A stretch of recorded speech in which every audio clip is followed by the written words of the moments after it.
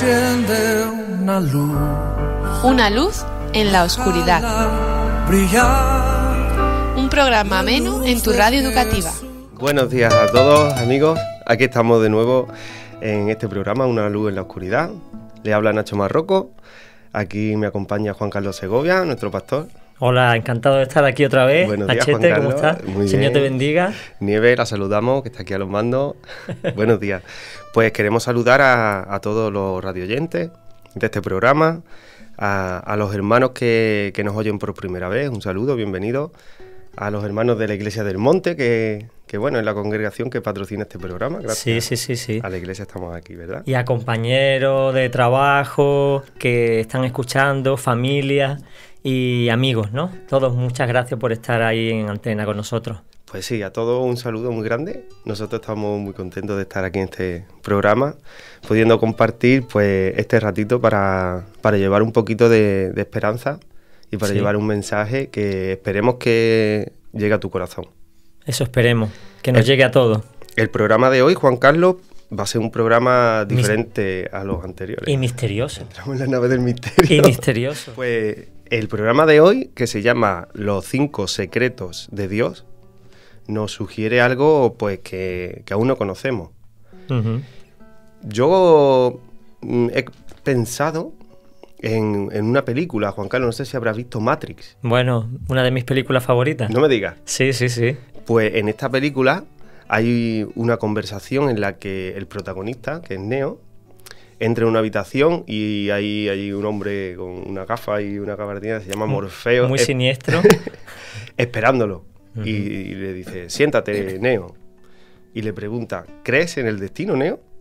Y le dice, este que está un poquillo asustado, sin saber por dónde viene la cosa, le dice, no, no me gusta la idea de no tener controlada mi vida.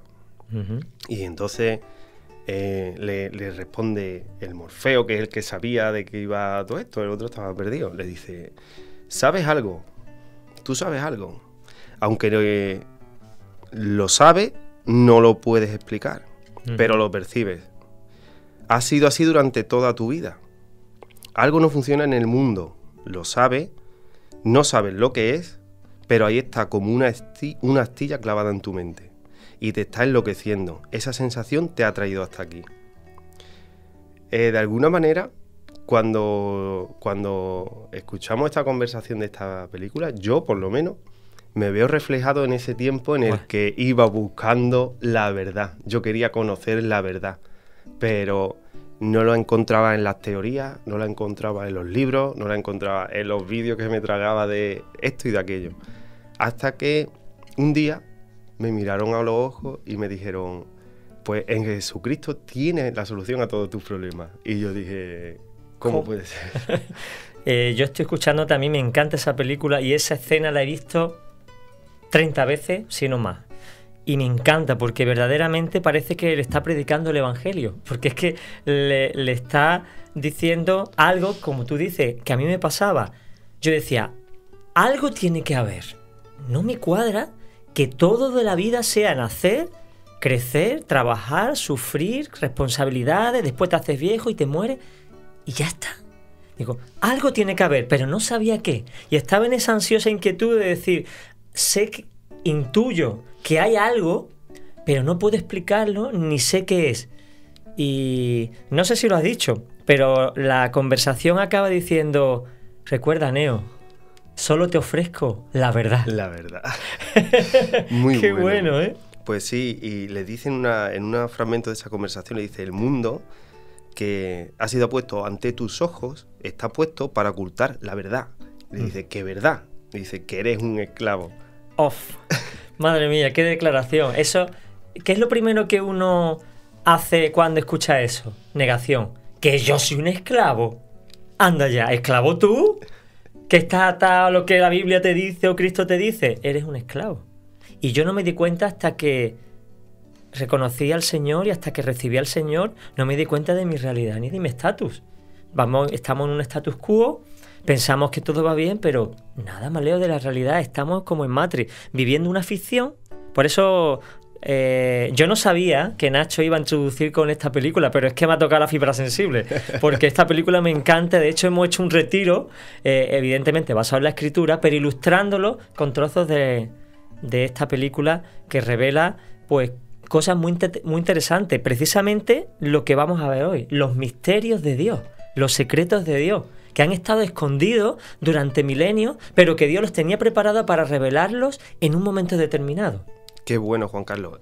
Para todos los que nos oyen, todo- todas las mentes inquietas que nos escuchan y que dicen algo tiene que existir, algo tiene que haber, yo no lo sé, pero algo tiene que haber porque no es normal. Y tienen esa intuición, tienen esa percepción de que algo por encima de nosotros está ordenando y mandando, si no el mundo no sería posible que existiera como existe. Claro, se habla de un sentido de trascendencia y eso las personas no lo entienden. ¿Qué es trascendencia? Es un tipo de existencia que va más allá de lo físico, que sabemos que tiene un principio y un final. Pues el hombre no tiene final, o sea, no tiene fin.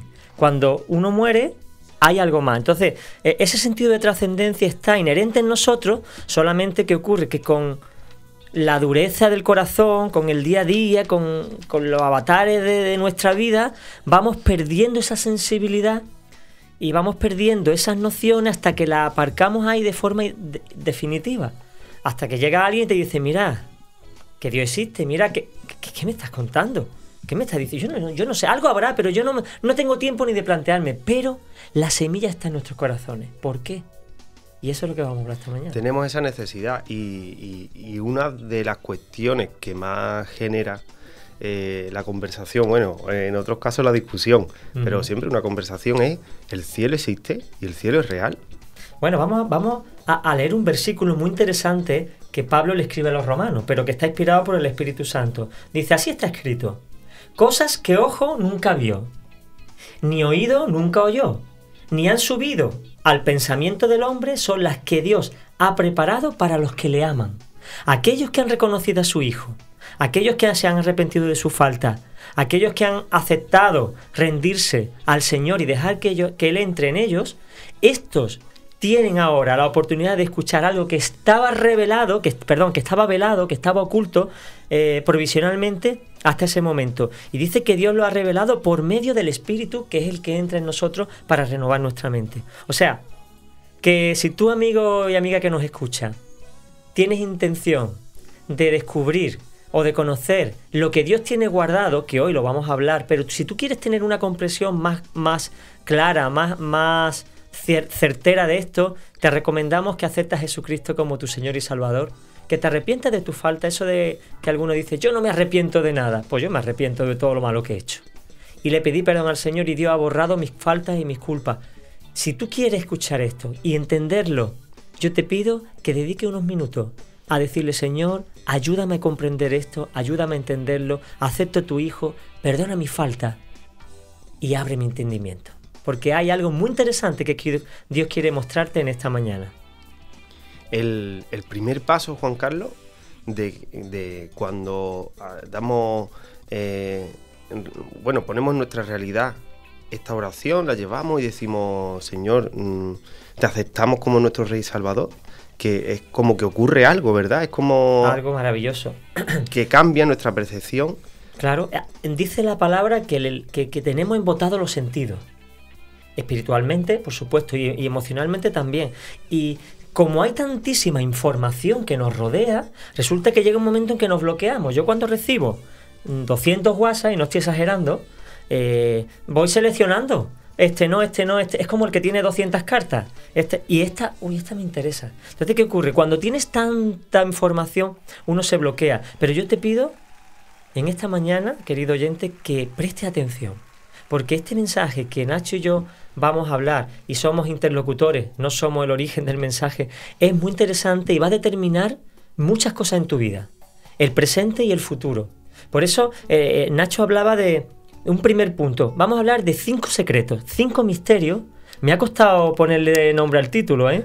Me ha costado. He puesto secretos, principios, pero al final, y misterios también al final, puse los cinco secretos de Dios. Es sugerente, Juan Carlos. Sí, ¿verdad? Pues llama la atención, ¿no? Es qué cinco secretos Dios quiere revelarnos siempre y concretamente en esta mañana. Pues el primero es que Dios nos ama y quiere que estemos con Él por la eternidad. Y tú dices, bueno, eh, bueno, ah, ¿cómo, se, ¿cómo se digiere esto? ¿Cómo, ¿Qué quiere decir? Dios dice en la palabra, en la Biblia, que quiere que todos sus hijos tengan parte en su gloria, es decir, que estén donde Él está y disfruten de la eternidad con Él. Jesucristo dijo, en la casa de mi Padre, antes de marcharse, muchas casas hay, muchas moradas hay. Voy pues a preparar lugar para vosotros, para que donde yo estoy, vosotros también estéis. ¿Qué está diciendo? ¿Que hay cielo? ¿Qué está diciendo? ¿Que hay vida después de esta? Yo Tú- creo que sí. ¿Tú crees? Yo también lo creo. ¿Y tú que nos oyes y nos ves? ¿Tú crees que hay vida después de esta? Pues sí que la hay. Ya está. ¿Y tú cómo lo sabes? Nadie ha venido a- de allí a decirlo. Bueno, eso es relativo y no es cierto del todo. Mirad, Pablo, que fue el mayor teólogo que ha tenido la iglesia en su historia después de Cristo, revela cosas que Dios le había mostrado a él. Dice, eh, sé de un hombre, habla de sí mismo, pero él por humildad no quiere hacerse a sí mismo protagonista. Sé de un hombre que es de Cristo, que hace 14 años, especifica hasta el tiempo, ¿eh? y lo cuenta ahora, el puñetero, perdón. Se lo tenía callado. ahora lo cuenta, podía lo- haberlo contado el primer día, ¿no? Se lo tenía callado. Se lo ¿eh? tenía guardado, pero en ese momento el Espíritu le dice, ahora quiero que cuentes a la iglesia y al mundo qué es lo que yo te mostré. Dice, eh, yo no sé si estaba en el cuerpo o fuera del cuerpo. La verdad es que fue algo tan tremendo que estaba confuso, pero Dios sí lo sabe. Dice que fue arrebatado, es decir, eh, cogido en un momento dado hasta el tercer cielo, hasta el paraíso, hasta el lugar donde Dios está. Y dice, y sé, de tan, y sé que ese hombre, que soy yo, si en el cuerpo, aparte del cuerpo, no lo sé, Dios lo sabe, fue arrebatado al paraíso y escuchó palabras increíbles que no es dado al hombre expresar. Vamos a ver, vamos a ver. No hay palabras. Si yo escucho algo, puedo expresarla. Pero lo que escuchó Pablo no era natural, no era normal, era tan excelto, tan excels, elevado, no me sale la palabra ahora, tan elevado, tan glorioso, tan magnífico, que cuando él quería expresarlas no podía. ¿Cómo expresaba lo que vio y oyó? No podía, lo que sabía es que era inefable, sublime, maravilloso, increíble. Luego Pablo sí que estuvo arriba y sí que bajó y sí que nos mostró que había un cielo. Y, y tardó 14 años en contarlo, o sea que tuvo que ser, tuvo que ser tremendo. Tremendo, tremendo. Fuera de, de este ejemplo tan increíble, hoy día tenemos un caso, os recomiendo un libro que se llama El cielo es real. Me encantó. Totalmente bíblico, muy sencillo y muy ilustrativo de un niño que con tres años y pico estuvo en coma por una peritonitis. Eh, ya sabéis que es una, apéndice- una apendicitis que le perforó el estómago y los médicos no daban con ello y estuvo en coma durante un tiempo en la, en la camilla. Y cuenta en el libro las experiencias. Claro, tú dices, un niño de tres años que va a contar, evidentemente nada. Pero fueron pasando los meses y un año y el niño iba soltando cositas. Ah, pues el Señor no es así, el Señor de esta forma. Y los padres diciendo, ¿qué está diciendo, niño? Y así, hasta que ya fue adolescente, poco a poco fue soltando cosas de lo que vio. Todo bíblico, todo, todo sujeto a la palabra espectacular. Hay una película que se llama El cielo es real sí. también, que también está, salió en el cine, creo que fue el año pasado, y os la recomiendo. Pero la- el libro revela mucho más acerca de lo que este niño vio en el cielo, y os lo recomiendo. Se lee en una semana, no vas a poder dejar de leerlo. Recuerda, el cielo es real lo puedes comprar en cualquier lugar porque está a la venta en, en los centros Juan comerciales. Carlos, una, una pregunta. Porque para que un niño que está en, un- en una sala de operaciones pueda ir hasta el cielo, su cuerpo estaba allí. O sea, Sí, de alguna sí. manera eh, tenemos que, que ver que estamos compuestos de un cuerpo y estamos compuestos de algo más. Sí, algo intangible del alma, que es un tema de debate grandísimo. Desde los filósofos más antiguos están los epicúreos, eh, Platón, Sócrates, Aristóteles y bueno, un sinfín de filósofos que a lo largo de la historia han querido explicar la trascendencia del hombre, la existencia del hombre y la condición del hombre. La Biblia es muy clara. Somos espíritu, alma y cuerpo.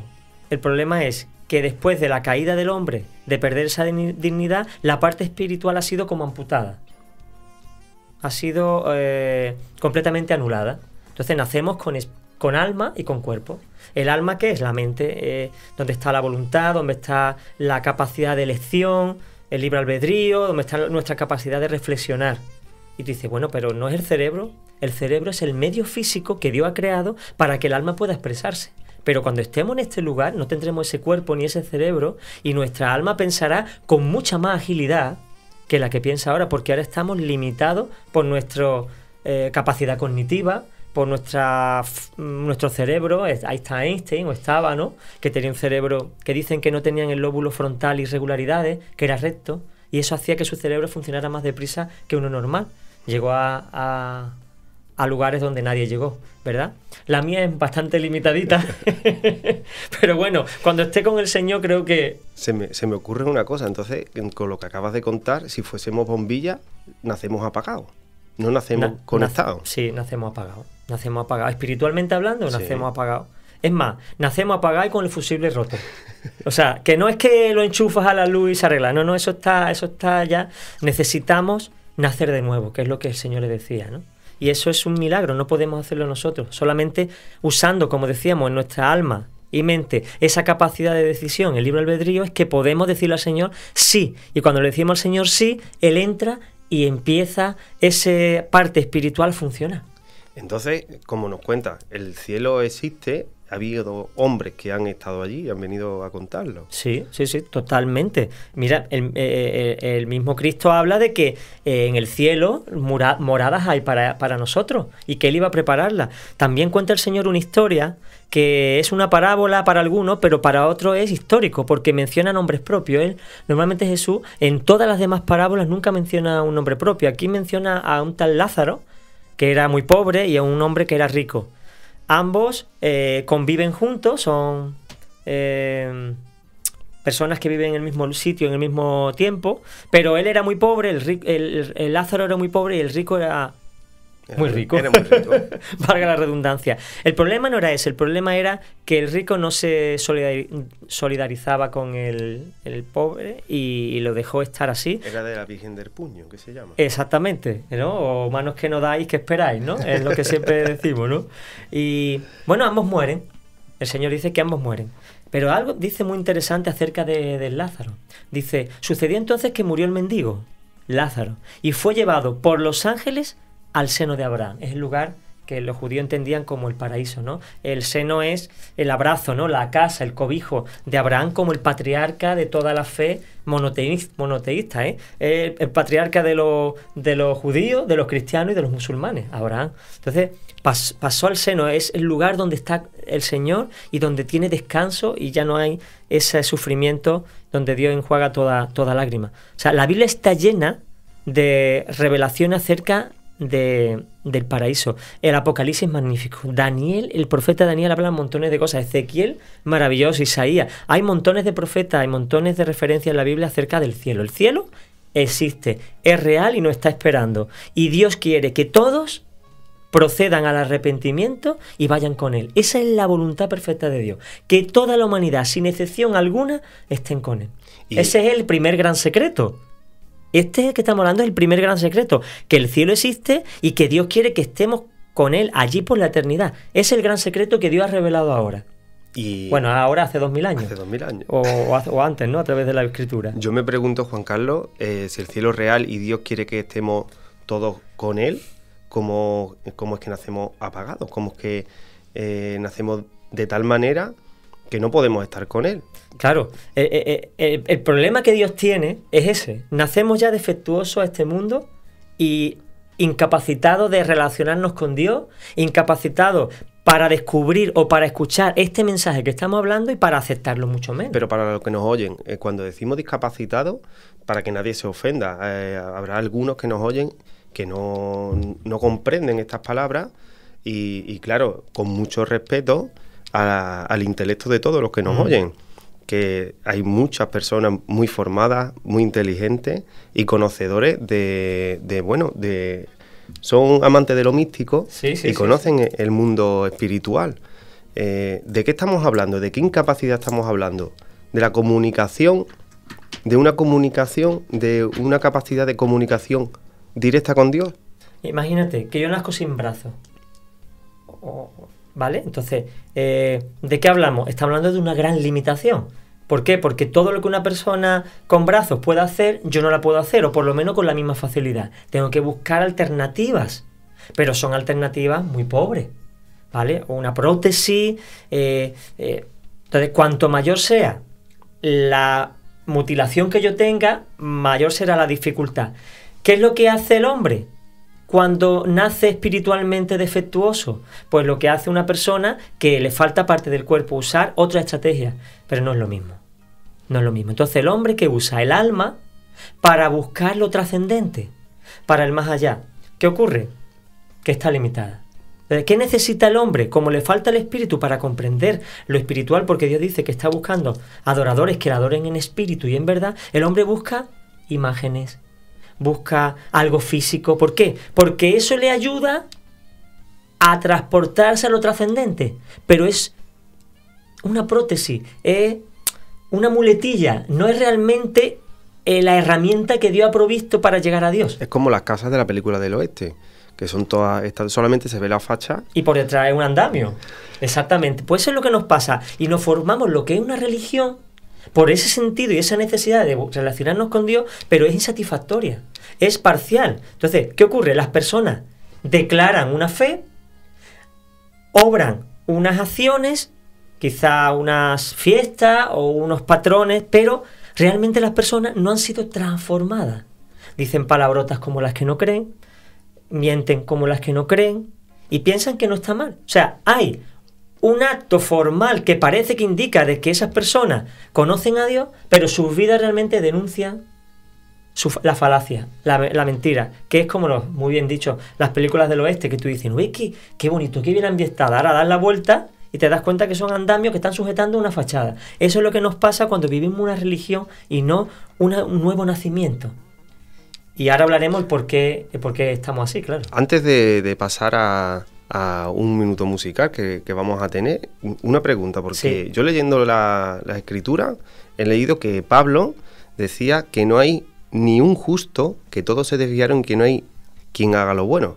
O sea, no, no es que los que no crean y no tengan esta comunión no hacen lo correcto, es que los que creen tampoco. Es que ese es la segun- el segundo secreto. Adiós, ya estoy no, no, no, no, perfecto. Es que es el segundo secreto. Porque tú dices, bueno, perfecto. Pues Dios quiere que vayamos todos al cielo. Viva la Pepa. Pues ala, pues todos para el cielo. Yo vivo mi vida, hago las cosas como yo creo, como Dios está preparando lugar para mí, quiere, porque la Biblia lo dice, que todo el mundo vaya al cielo, pues todos para el cielo. Y ahora está el segundo secreto. Y es que no hay, como tú dices, ni uno justo. Todos se han desviado de la verdad y no hay quien haga lo bueno, ni siquiera uno. Dice, venga, no me... ni uno, salvo Cristo. Salvo Cristo que nació por, la obra del Espíritu Santo. Dice la Biblia también que todos han pecado, es decir, que todos han, transgre- han transgredido la ley de Dios. Y por lo tanto, y aquí viene el pero, siempre hay un pero, todos están privados de la presencia de Dios. Ese es el terrible secreto que Dios tenía que decir. Ese es el terrible secreto. Pues vamos a dejar con este secreto a todos los oyentes. Vamos a escuchar una canción y volvemos en unos minutos. Estupendo.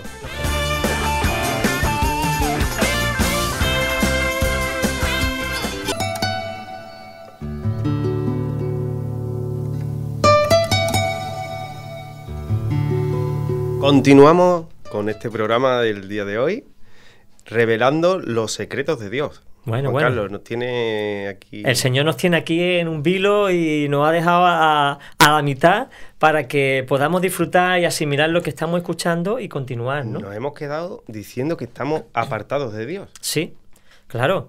eh, ese es un gran problema para nosotros y también para Dios. ¿Por qué? Porque hemos dicho que Dios nos ama, nos ama muchísimo.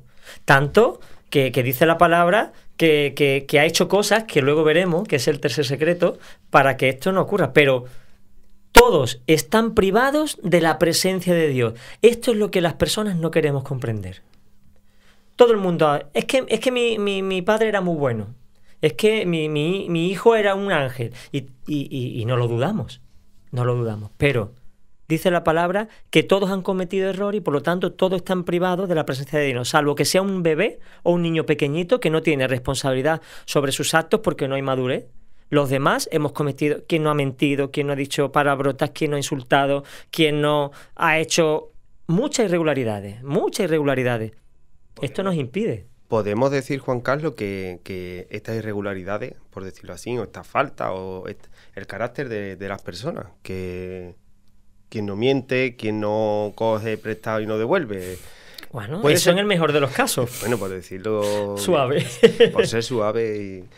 Puede ser consecuencia de estar apartados de Dios. O sea, Claro. esa es no, es... no es que eso nos aparte de Dios, sino que eso es una consecuencia de nacer apartados de Dios. Claro. El- cuando el hombre decidió independizarse de Dios, se apartó voluntariamente de él, perdió los beneficios parciales, no todos, si no estaría muerto, porque el mundo sigue, el sol sale sobre justo e injusto, llueve, tenemos, comemos porque el campo eh, da y hay alimento por la misericordia de Dios, o sea, que Dios es bueno con todo lo injusto, porque dice que no hay ni uno justo, ¿no? Entonces, nacemos, perdimos desde ese momento la capacidad espiritual de relacionarnos con Dios, de estar bien delante de Dios y caímos en una degeneración moral. Eh, Entonces, Juan Carlos, cuando, cuando yo leo en Salmos que dice el rey David, en maldad fui formado, ¿qué quiere decir? ¿Que, que fue que nació malo? ¿Que era malo? No, ni que su madre era una prostituta, por si alguno se está imaginando esto. Eh, David decía, en maldad fui formado, es decir, he nacido con una naturaleza caída. Mis padres tienen una naturaleza caída, pervertida, en todos los sentidos, ¿no? Y moralmente, como decíamos, dejamos mucho que desear en nuestra forma de hacer las cosas, de pensar. En maldad me formó mi madre y en pecado me concibió. Es decir, eh, el pecado abarca hasta la misma esencia de la naturaleza del hombre. Desde el momento que se separa de Dios, la influencia, dice la palabra que Dios es santo, santo, santo. Si yo me alejo de esa santidad, me convierto en alguien inmundo, inmundo, inmundo. Alguien perverso, alguien malo, alguien sucio. Y ya no es solamente que yo me ensucie, es que ya disfruto ensuciándome que es la el siguiente paso. Ya no es solamente eh, que Dios es puro y limpio y Él no se mancha y yo me mancho pero después me limpio. No, no, no, es que el hombre caído se mete en el fango del pecado y, se encuentra a gusto, no quiere salir. Ese es el drama, que el hombre no quiere salir. Podemos poner como pecado que, que el hecho de disfrutar de algo no significa que esté bien. Claro. Los, los placeres que nos ofrece la vida y que, que nos dan satisfacciones eh, están fuera de lo que Dios nos dice que es correcto. Claro. Claro, no dice alguien por ahí, dice, todo lo que está bueno engorda. He escuchado así de veces. No, muchas mujeres me lo han dicho. Todo lo que me gusta es ilegal, es inmoral o, o O engorda. engorda. Claro, ¿por qué nos gusta lo inmoral? Porque ya venimos con una naturaleza caída. ¿Por qué tendemos a agredir a aquel que nos agrede? Alguno dirá selección natural, mecanismo de defensa. Bueno, eh, si yo agredo al que me agrede, el otro vuelve a agredirme y yo vuelvo a agredirle. Y esto es una guerra que es lo que ha sido la historia de la humanidad. Una guerra continua y constante. Eso es lo que queremos, esa es la evolución, que nos matemos y que hayan habido a, lo largo de la historia miles y, millones de personas que han fallecido por conflictos eh, unos con otros, esa no nunca fue la voluntad de Dios. Eso es parte de la perversidad de la naturaleza y de la condición humana. Y tanto que se habla de Hitler y se habla de, de, de los nazis, la gente que asesinó a los judíos eran gente normal, no eran psicópatas. No eran psicópatas, estaban preservando su vida y la de su familia. Si no hacemos esto, si no obedecemos al Führer y a, y a todo el séquito, eh, pueden pasarnos cosas malas. Pues ahí estaba medio, medio Alemania en el ejército. La gente que mató eran gente como tú y como yo, no eran perversos en el sentido que nosotros tenemos. Es que cuando nos toca podemos hacer cosas bárbaras, cosas bárbaras. Y por defender a los nuestros podemos hacer cosas bárbaras. Hay una, una, un sentido, una profundidad de la maldad que negamos tenerla, pero que está ahí. Y la Biblia Bueno, habla muy claro. Yo pienso que, que más que negamos es que vivimos en un mundo y vivimos en, en un país, en una cultura en la que, bueno, el asesinato es algo que ocurre por las noches cuando dormimos en barrios mm, alejados de nuestra casa. Sí. Pero realmente en, en muchas sociedades, en muchas culturas, pues ojo por ojo y diente por diente. Y, igual que tienen armas, se cometen asesinatos a la luz del día y hay mucha maldad, pero... Escondi- pero- escondida, pero, pero ¿quién no se queja de un jefe que, que es injusto, de un compañero que le está fastidiando, de un hijo que te, te habla mal. ¿Quién no se queja en la relación? Estamos todos quejosos unos de otros. ¿Por qué? Porque la maldad sale y la maldad mm, provoca actos malos. Mira lo que dice Pablo. Estamos hablando del, del apóstol Pablo. Dice, lo que hago no lo comprendo. No hago el bien que quiero, sino el mal que no quiero, esto hago. O sea, Pablo quería hacer lo bueno, sabía lo que era lo bueno, pero no lo hacía. Ah, pues eso Y- me pasa a mí también. y a mí. Y tú dices, pero vamos a ver, si yo sé que esto está mal y no lo quiero hacer, ¿por qué acabo haciéndolo? Porque hay una parte de nosotros que se deleita desafiando a Dios y a sus leyes. Que le es placentero todo lo que Dios ha prohibido. Dice, pues vaya aburrimiento de Dios que prohíbe lo bueno. No, no, no, prohíbe lo malo. Otra cosa es que estemos tan desviados que algo que es contra nosotros, que va en perjuicio nos- con nosotros, nos gusta. Por ejemplo, nos hinchamos de comer. Y ahora la galletita. Es un ejemplo muy, sencillo. Y, y ahora la galletita. Y después viene la merienda. Nos vamos al campo. Y nos tiramos desde las 12 de la mañana hasta las 6 de la tarde que nos vamos comiendo. Entonces tú dices, bueno, pero eso es normal. Y estoy hablando de una cosa trivial. Pues no es normal ni es sano. Uno debe comer cuando tiene hambre. Pero ya no comemos cuando tenemos hambre, comemos como válvula de escape, como modelo de evasión, comemos lo que no nos conviene. Y estoy hablando de lo más natural, lo más sencillito que todo el mundo lo entiende. Cuando damos un paso más allá y entramos en la moralidad, pornografía, todo tipo de desajustes y de irregularidades sexuales, eh, mm, lo que es bueno lo vemos como malo y lo que es malo lo vemos como bueno porque nos interesa. Mentimos si hay que mentir, no porque sepamos que está bien, sino porque por con tal de sacar la situación adelante, pues mentimos y no pasa nada. No, sí que pasa. Sí que pasa. Estamos transgrediendo la ley de Dios. No podemos. Entonces, ¿qué pasa? ¿Qué ocurre? Que estamos ciegos. Que estamos ciegos. Que no vemos. Que, que- eh, la ceguera es voluntaria. Es una ceguera voluntaria. Por eso decía el, salmista, el rey David, que la verdad es que fue un hombre maravilloso y cometió graves delitos. ¿eh?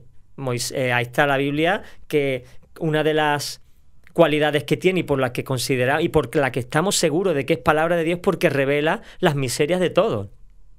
Y David tuvo unas pocas. Y fíjate lo que oraba David. Esto fue una oración íntima de David al Señor. Señor, examíname, revísame, escudriñame, estudiame, oh Señor, y conoce mi corazón. Descubre mi corazón, mira lo que hay en mi interior. Pruébame y conoce mis pensamientos. Mira si hay en mí camino de perversidad y entonces dímelo para que camine por el camino bueno, por el camino eterno. O sea, David, que se conocía, decía, Señor, soy incapaz de ver, ayúdame a verme, ayúdame a examinarme, dime qué es lo que ves de mí y revélamelo porque yo quiero apartarme de eso. Como Pablo decía, el bien que quiero no hago y el mal que no quiero eso hago. ¿Qué me pasa? Me pasa que el mal mora en mí. Entonces, eh, eh, el mismo David lo, lo reconocía, pero le pedía al Señor guía. Y es el problema que tenemos, que como que aunque Dios quiere que vayamos al cielo con Él, primer secreto, y que pasemos la eternidad con Él, no podemos porque estamos desviados, porque pecamos. Si nosotros fuéramos al cielo con Dios, nos cargaríamos el cielo en tres telediarios. Vamos, es que no dejaríamos títere con cabeza enseguida. Estaríamos corrompiendo un lugar que es santo como el que lo habita allí es santo. Entonces, eso es un problema para el hombre y un problema para Dios. Y este es el segundo secreto. Pues este, este secreto, mm, que, que realmente Dios es, si Dios es amor, nosotros vivimos en desamor, vivimos en ausencia de Dios cuando todavía no hemos conocido a Jesús, ¿no? Acuérdate de la semana pasada. Vivimos en desamor. Tenemos un amor natural, un amor estorge, que es de familia, un amor filio, que es de amigo, y un amor eros, que es de pareja. Pero a partir de ahí estamos amputados. No tenemos capacidad de amar como Dios ama. Por eso estamos en un desamor, como bien dices. Claro, es como, como estamos hablando de la maldad, es como que, bueno, somos malos eh, conscientemente, también pienso que, que esa maldad que tenemos no la hemos elegido, hemos nacido con ella. Sí, ¿no? es verdad. Y, y- y realmente, si vivimos sin conocer el sentido verdadero que tenemos como seres espirituales en, en este mundo, vivimos apartados de Dios y esa maldad que existe en el mundo, que, oye, que hay muchos que dicen, si Dios existiera no existiría la maldad en el mundo. Si Dios existiera no permitiría tantas cosas. Yo les digo, eh, la maldad es ausencia de Dios, igual que la oscuridad es ausencia de luz. Así es. igual que el frío es ausencia de calor. Eh, eh, otro, otro día hablamos de los antídotos. El antídoto, el antídoto de la maldad, si hay algún antídoto, si nosotros recibimos a Jesús, porque Jesús es la puerta, Jesús es la llave para encontrarnos con Dios, para llegar a Dios, es el camino para llegar a Dios, es cuando el bien, el amor de Dios, el ágape, empieza a influir en nuestra vida. Claro, y manifestarse. Y siendo malo, por naturaleza, y teniendo ideas atravesadas por naturaleza, comenzamos a, percibir, es como que abrimos los, ojos. Eh, estamos ciegos, pero abrimos los ojos y empezamos a percibir todo de otra manera, ¿verdad? Y hay, otro, otro secreto que no entendemos. El primero hemos dicho, hay una vida después de esta, Dios existe, Dios quiere que estemos con Él en ese lugar por la eternidad. El segundo secreto era que hay un problema y es que estamos tan defectuosos de fábrica y además, aunque tú decías antes que no somos responsables de nacer así, sí somos de cometer errores porque, vale, que yo tienda a hacer algo no significa que esté legitimado que yo lo haga. Yo puedo decir no y tenemos libre albedrío y voluntad para decir no a lo que está mal, pero nos dejamos en un desenfreno llevar por todos estos motivos y esto nos aparta, nos aleja eh, como un, abismo entre los dos de Dios y ya no podemos disfrutar de aquello que Dios quería darnos. Es el segundo secreto. ¿Cuál es el tercero? Es que vamos, vamos por ahí. El tercero es que tenemos una idea de Dios que es incompleta. Dios es amor, y es verdad. Pero se nos olvida que Dios es juez. Ese es el gran problema que tiene la humanidad. Y este es el secreto que Dios quiere revelar. Que Dios es juez y que habrá un juicio. Y esto no lo entiende nadie, no lo comprende nadie ni lo contempla siquiera. ¿Por qué? Porque no está dentro de sus planes. Sin embargo, podemos ver que en la tierra hay legisladores, hay jueces y hay justicia. Y entendemos que cuando alguien hace mal, tiene que pasar por el filtro de la justicia y sufrir las consecuencias de sus actos. ¿Por qué pensamos que espiritualmente eso no va a ocurrir? Todo, la justicia de Dios se manifiesta, eh, bueno, toda, ojalá, ojalá. Por lo menos la figura del juez aparece como la figura de Dios. Y aunque el hombre pues, ha desvirtuado la justicia y es muy parcial en sus apreciaciones y hay pruebas que no valen y, en fin, Dios sabe la injusticia que se han cometido en el mundo. Pero este pasaje, o mejor dicho, esta idea de que Dios es juez del universo, tenemos que asimilarlo. Este es un secreto que tenemos que afianzarlo. ¿Por qué? Porque eso estamos ante un problema. Si, si Dios es un juez y vamos a sufrir un juicio, ¿cuál va a ser el veredicto? Pues que somos todos culpables. ¿Culpables? ¿Por qué? Porque no hay uno justo, porque todos pecamos. Tú dices, bueno, vale, como le diría a uno, señor juez, Vale, he cometido este asesinato, perdóneme, estoy arrepentido, pero ¿y la de cosas buenas que he hecho? Entonces las personas buenas que hacen buenas obras, que son bondadosas, que ayudan a los pobres, todo lo que hacen el bien, también son culpables. Claro, no de eso, de otras cosas. ¿Por qué? Porque eh, es como si dijera, como te decía, el, asesino dice, pero si yo he hecho muchas cosas buenas, y el juez dice, vale, por esas no te juzgo, te juzgo por las malas has incumplido la ley y tienes que pagar por... Lo otro está bien. Y eso va en beneficio tuyo. Pero la ley la ley. Si la incumple, debes pagar.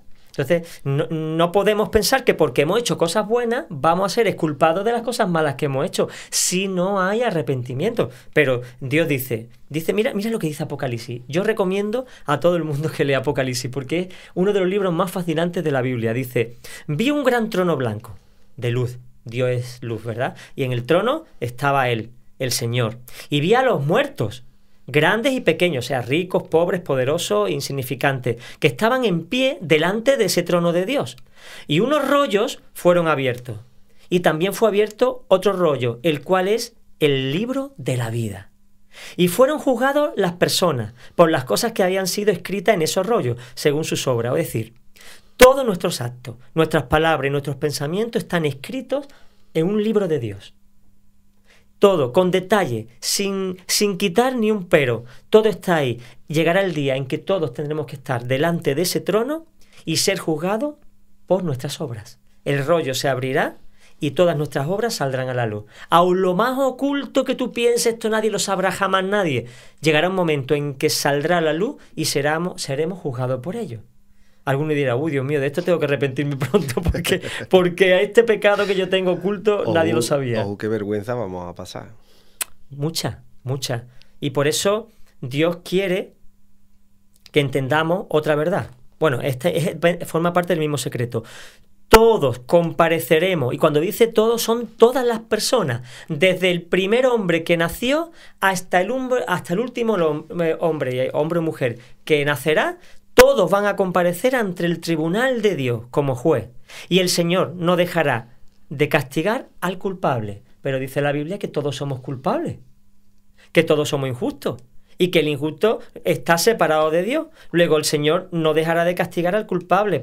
dice y dice otra cosa, la sentencia por transgredir la ley de Dios es la muerte. Pero si ya morimos todos, está hablando de la muerte espiritual.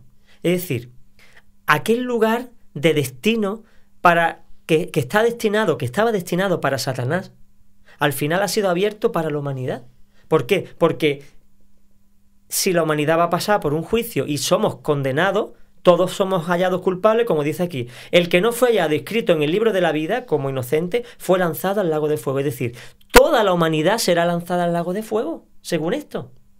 Todos van a estar en ese lugar de tormento, que es la ausencia total, completa y absoluta de los beneficios de Dios. Es el infierno. Y eternamente. Y eternamente. Son Y mucho tú- tiempo. Y tú dices, bueno, bueno, vamos a ver, vamos a ver.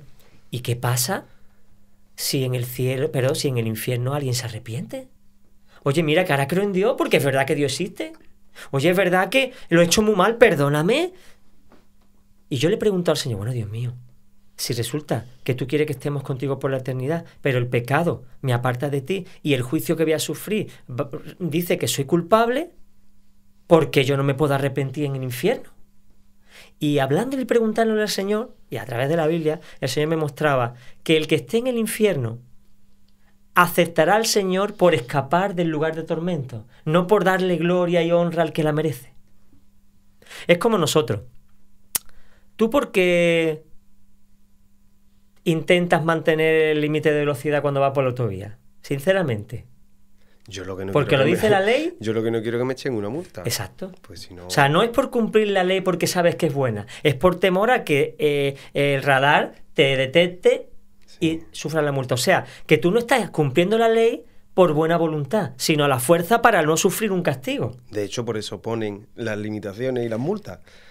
Porque si no. No habría forma, nadie, se- bueno, casi nadie se mantendría en el límite de velocidad. Ese es el infierno. En el infierno la gente va a estar porque, aun cumpliendo la voluntad de Dios, que es reconocer a su Hijo Jesucristo, lo harán por conveniencia, no porque de la- realmente lo creen, no porque realmente que ven que es lo justo, sino por no sufrir aquí. Con lo cual al final no tiene sentido, no hay un verdadero arrepentimiento. Luego en el infierno nadie podrá arrepentirse de verdad. Querrán escapar de ese lugar. Por lo tanto es un destino horroroso y lo que nos espera es terrible. Pues, Es Juan- el tercer secreto. Y, y Juan Carlos, la pregunta es: ¿qué podemos hacer? ¿Qué, Pues, ¿Qué di- tenemos? ¿Qué opciones tenemos? Tú- mira, tú cuando eres consciente de la realidad, aunque el otro sea ignorante, tú estás sufriendo. Se va a caer, se va a caer. Es que el barranco está ahí, que yo he estado ahí varias veces, se va a caer y el otro va por la cuerda floja, haciéndose el gallito y pensando que todo el monte es orégano y que no pasa nada. Pero el que lo ha visto sabe el peligro. Ese es Dios. Dios está viendo al hombre con lo que él ha hecho por él, co- con lo que él ama al hombre, pero está diciendo, es que va ahí ese lugar de tormento, es que no va, no hay más remedio, es que yo como juez no puedo obtener por inocente al que es culpable. Es que sería contradecirme a mí mismo. Y, pero yo amo a la humanidad y no quiero que vaya a ese lugar de tormento. Y aquí viene el cuarto y magnífico e inestimable gran secreto que le llaman evangelio. Buena noticia. Y este es el mensaje más importante que una persona puede recibir en vida. No hay mensaje más importante y es la solución para escapar de ese lugar de tormento. Alguno dice, es que los cristianos habláis mucho del infierno para asustar a la gente y amenazarlos. Mira, cuando tú sale, sale el anuncio de la Guardia Civil acerca de los accidentes de tráfico, ¿podrías decirle lo mismo a la Guardia Civil? Es que tú lo que quieres es amedrantarnos para que no nos, no nos saltemos el límite de velocidad. Es que tú lo que quieres siempre agobiarnos para que estemos en los límites. Vamos a ver, lo que quieres es ahorrarte la vida. Darte la vida. Y ver un accidente de otro te va a ayudar a tú reflexionar para decir, tengo que empezar a, a- a guardar los límites de velocidad porque cualquier día soy yo el muerto. Es un aviso, no es una amenaza. Y Dios no está amenazando, está avisando. Entonces, ¿qué es lo que dice? Mira, hay una forma de escapar. Porque yo como juez, al que es culpable, lo tengo que considerar culpable y tiene que pagar. La paga, la paga del pecado es la muerte, hemos dicho. Pero mira lo que dice la palabra. Dice, tanto ama Dios al mundo, que entregó a su Hijo único, que se llama Jesucristo, para que todo aquel que crea en Él no perezca en ese lugar de tormento, sino que tenga la vida eterna. Cuando yo escuché esto, yo no sabía si reír, si llorar, si ponerme de rodillas. Dios mío, gracias. Porque puedo escapar de ese lugar, porque tengo una oportunidad. Antes no la tenía y ahora la tengo. Desde el momento que Dios envía a su Hijo y muere, tenemos una oportunidad. Dice la palabra, el Mesías fue ofrecido una vez en la cruz del Calvario y para siempre, para llevar la carga de los pecados de la humanidad. Es decir, que yo y todas mis maldades estaban ahí como un acusador delante de mí diciendo tú no puedes ir al cielo porque eres pecador. Pero ahora hay alguien que muere en mi lugar para llevar la carga de esos pecados. Entonces, ¿qué ocurre? Que ahora, cuando viene el juez, me dice, mira, eres culpable de esto, de esto, de esto. Pero, ¿qué ocurre? ¿Qué ocurre si yo cometo un asesinato me pilla la policía, estoy delante del juez y el juez dice, hay pruebas de que has cometido este, este, asesinato, eres culpable, por lo tanto, a la silla eléctrica o 30 años o de por vida a la cárcel. Y hay alguien que se ofrece a voluntario y dice, yo voy a morir por él en su lugar. Hay una norma, el que eh, cuando el castigo o la demanda de esos castigos, de, de esas obras son satisfechas, la pena desaparece y el castigo y, y el la transgresión también. De hecho, hay un caso muy interesante en Estados Unidos donde un, asesino fue al corredor de la muerte, eh, le pusieron la silla eléctrica y sobrevivió a la descarga de la silla eléctrica. Madre mía. ¿Lo soportó? Sí. ¿Sabes qué? Lo tuvieron que soltar. Porque la ley dice que el que comete un asesinato debe, debe sufrir la silla eléctrica. Pasó por la silla eléctrica y la condena fue hecha. O sea que ya no había más pago por esa, por esa condena, por ese pecado. Eso es lo que Dios hace. Ya hay alguien que ha muerto por ti y por mí. Yo soy exculpado de las consecuencias de mi falta, con lo cual me libro y puedo eh, satisfacer ese deseo. Mira lo que dice el, el, deseo de Dios. El Mesías fue ofrecido una vez y para siempre para llevar la carga de los pecados. Ahora bien, alguno dice, pero yo soy tan bueno, yo puedo por mí mismo librarme de esa condena, porque yo soy tan bueno, dice Dios. Por la bondad de Dios habéis sido salvados, por medio de la fe en Jesucristo. Esto no es algo que vosotros podáis hacer por vosotros mismos, sino que os lo ha dado Dios un regalo, no es el resultado de las propias acciones, de modo que nadie puede jactarse de nada. Nadie puede envanecer. Yo soy tan bueno, dice, es que, es que tienes el cielo ganado. No se dice, eso es mentira. Es mentira. Y Dios quiere a viva voz decirle a la gente, a la humanidad, Mira, la única forma de salvarse es por los méritos de Jesucristo en la cruz. Y ese es el, el cuarto secreto que el primero revisamos si te parece bien. Sí, sí, hacemos un resumen. Es después de esta hay otra vida. Dios existe y Dios quiere que estemos con Él en un lugar maravilloso para disfrutar con nuestra familia y por la eternidad. Segundo, el hombre ya nace defectuoso de fábrica, es injusto por naturaleza, comete agresiones y no hay posibilidad de estar en la presencia de Dios a causa de sus maldades. Tercero, el Señor es juez y por lo tanto, como hemos cometido tantos errores, no puede tenernos por inocente, con lo cual no podremos nunca ir a ese lugar de, de, gloria, sino que iremos a un lugar de tormento por la eternidad. Y cuarto, como Dios, sufriendo y viendo el, el, destino de la humanidad, no tenía arreglo, deja que su propio Hijo muera en la cruz y pague el lugar nuestro para que ahora tengamos nosotros la oportunidad de escoger y de ir al cielo con Él. Todavía no hemos terminado. Todavía queda un quinto secreto. Queda un quinto secreto antes de terminar el programa, nos va a dar tiempo, porque este será el, que culmina, ¿no? Este es el que culmina, claro. Tú dices, vale, con esto ya está bien, perfecto. Ya Cristo murió por mí en la cruz. Aleluya, ya, está todo hecho. Pues no, pues no. ¿Qué hay que hacer? Aquí está el, el quinto secreto. Y es Dios apelando a nuestro libre albedrío, a nuestra libertad, nos demanda que tomemos una decisión doble. Depende de nosotros el que podamos disfrutar de los beneficios de su Hijo Jesucristo que muere en nuestro lugar. Y es, primero, arrepentirnos de nuestra falta. Eso fue una de las primeras sensaciones que yo tuve cuando recibí al Señor. Y empecé a ver mi miseria y a pedir perdón. Dice Juan, en la Biblia. Si dijéramos que no tenemos ninguna falta, nos engañamos a nosotros mismos y la verdad no está en nosotros. Pero si confesamos nuestros pecados, Dios es fiel y justo para perdonar nuestros pecados y limpiarnos de toda maldad. O sea, que lo primero que Dios nos pide es que nos arrepintamos de nuestra falta. Señor, perdónanos por todas las cosas malas que hemos hecho hasta este momento. Y dice el Señor que si lo decimos con verdadera sinceridad, Dios nos perdona.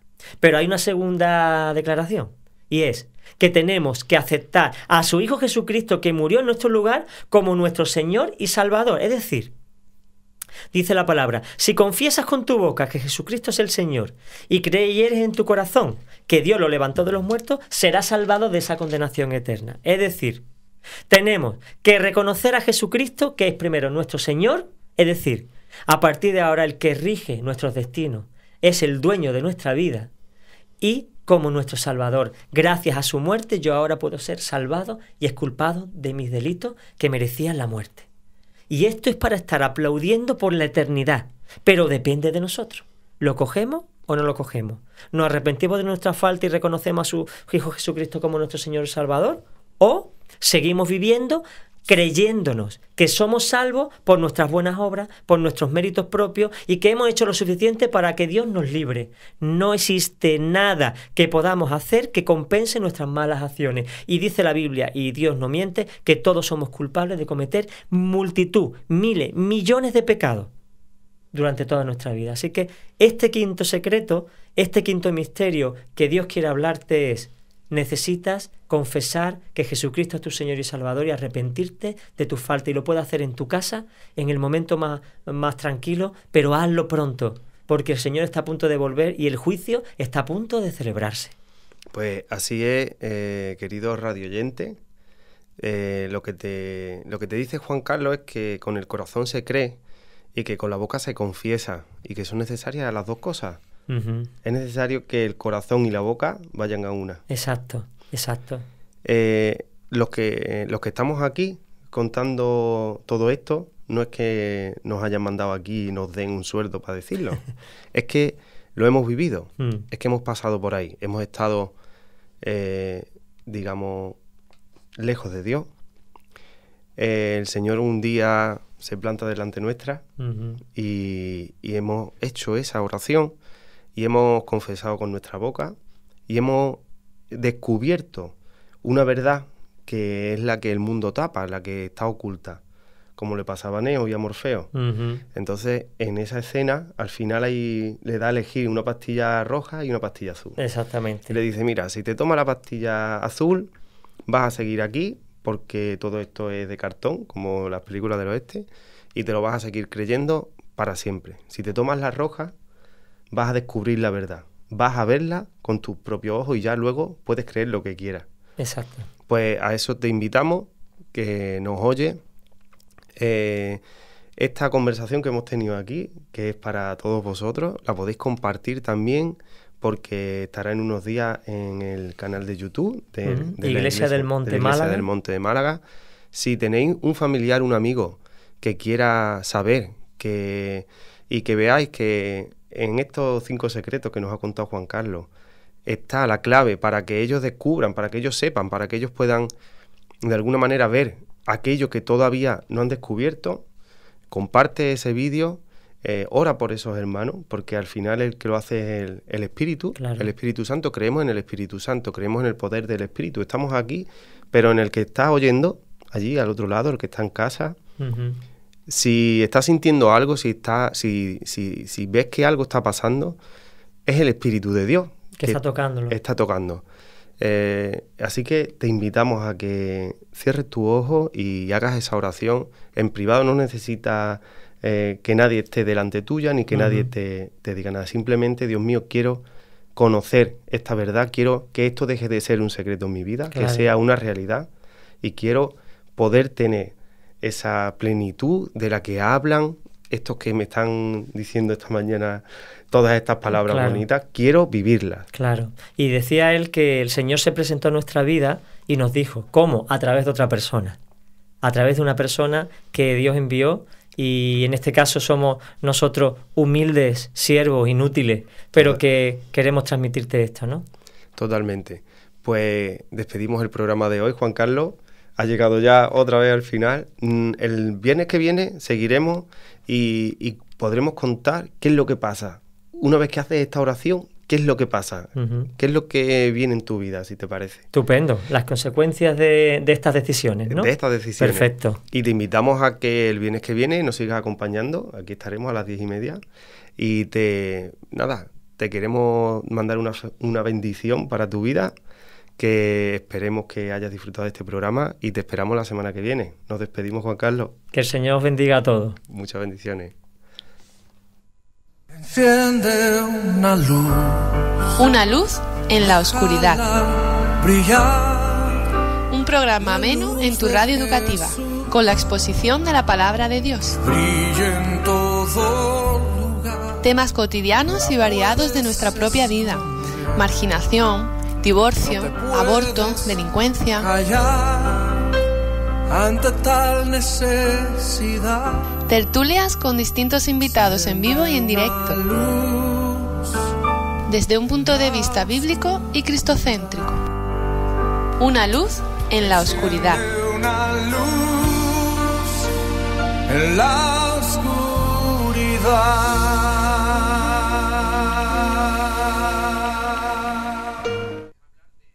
Este ha sido un programa producido por Radio Amanecer. Descubre toda nuestra programación en radioamanecer.es.